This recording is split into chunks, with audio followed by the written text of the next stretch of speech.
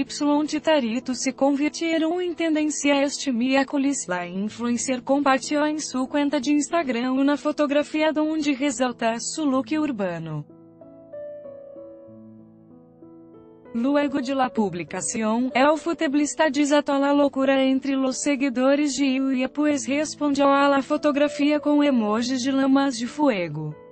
Además recientemente Javier confirmou que se encontraba soltero, por lo que los fans começaram imediatamente a relacionar ao futebolista com a influencer. Precalifica tu crédito Prime, desde 100 milhares de dólares hasta 5 dólares MDP. Te damos resposta em 48 horas y puedes disponer do dinheiro em menos de 10 www.premo.mx.